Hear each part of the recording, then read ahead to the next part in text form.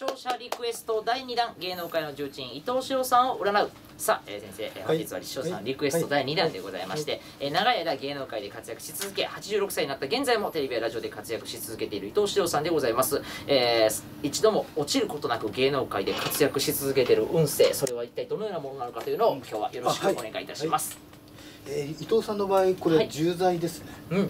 これこれがすごいです。はいはいはいはい。この月齢がそのまま上ってますねほうほうほうほう。この重罪のいわゆるこれ心中っていうんですけど、はいはいはい。誠のに従うという、誠に従うで心中、はい、これあんまり少ないんですよ。同じ。ださっきのあの東山君のは月齢得てないんですよ。同じ重罪だから伊藤四郎さんの方がこの重罪格として上ですね。ランクが。